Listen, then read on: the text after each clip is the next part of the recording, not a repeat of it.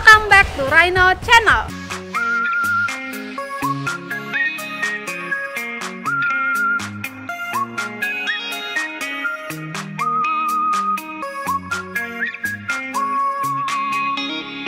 Halo Rhinovers, hari ini kembali lagi bersama kami dalam workshop No Everyone Can Custom. Nah, di workshop kali ini kita kedatangan tamu dari Polimedia Jakarta dalam program Visit Industri bersama Rhino Indonesia Sukses. Mau tahu keseruannya seperti apa? Yuk ikutin aja.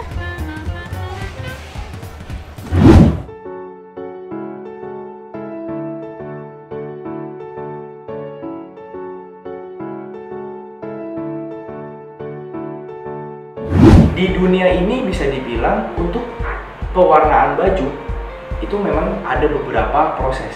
Yang pertama sablon manual yang udah kurang lebih udah puluhan tahun itu ada. Yang kedua itu apa? DTG atau direct to garment yang langsung di print.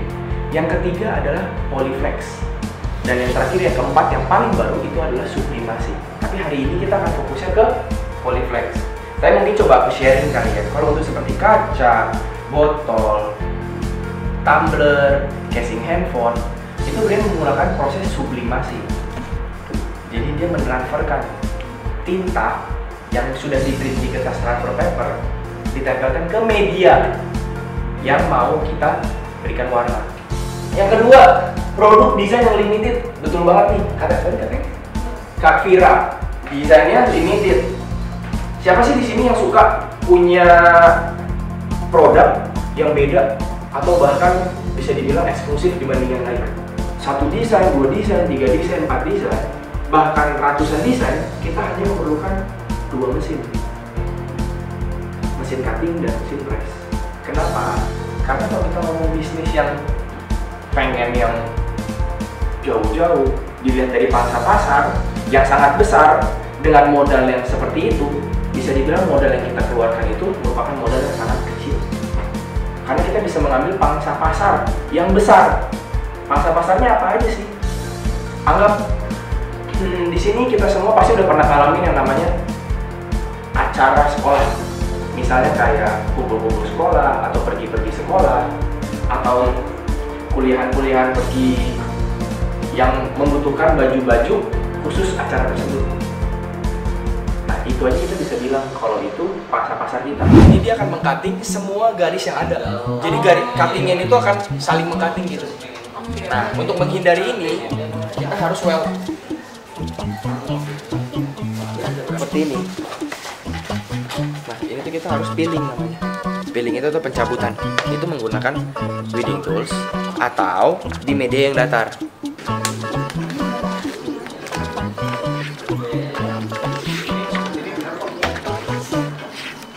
Nah, nah ini yang tadi kayak ditanyain, cukup desainnya aja yang di cutting. Jadi kita nggak perlu cutting bajunya. Jadi desainnya itu nggak perlu diwarnain ya sebenarnya. Jadi cuma lainnya Betul, lainnya aja. Tunggu sampai ini waktunya habis.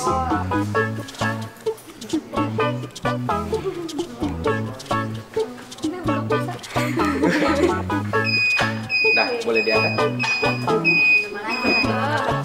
Udah matang nih. Nah, nah kalau polyflex sih kurang lebih seperti ini prosesnya.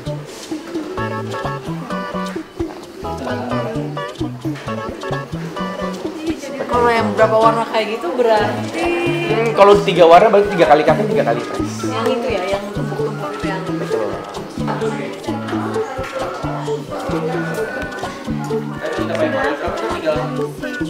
Satu arah satu arah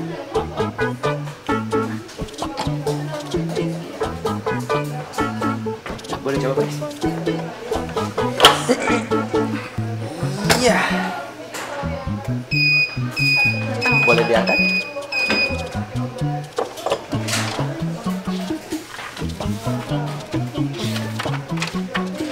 Nah, kalau glitter dicabutnya itu setelah anget-anget. oh, kalau pakai frog. Oke. Tapi emang ada garis segede gitu.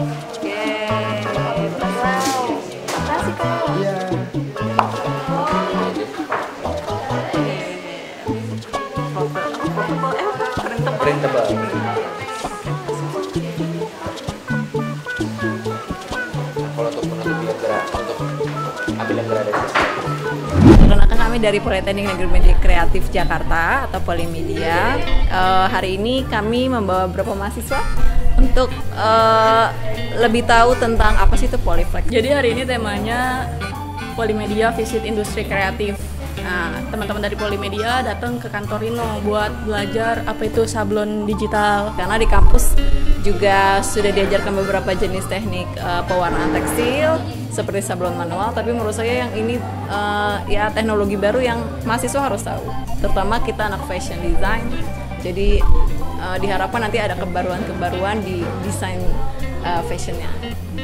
Pertama ini kan mungkin di baju-baju kalau nggak batik sablon manual uh, sublimasi. Ada ternyata kan sekarang uh, polyflex. Jadi ada inovasi barulah buat uh, produk bajunya mereka Oke, jadi ini untuk mata kuliah uh, kita nyebutnya Studio 3. Studio 3 itu semacam uh, project membuat busana, membuat baju, uh, busana siap. Nah, di situ nanti bajunya itu kainnya itu diberikan sesuatu motif dengan berbagai jenis pewarnaan. Ada yang batik, ada yang sablon manual, ada yang digital printing uh, dan lain sebagainya. Nah, beberapa uh, yang uh, bajunya dibuat dari sablon. Mungkin agak bosen ya dengan sablon yang udah ada. Jadi kita coba bawa ke sini. Ternyata memang banyak variasinya kayak ada glitter ada terus ada glow dark dan lain sebagainya.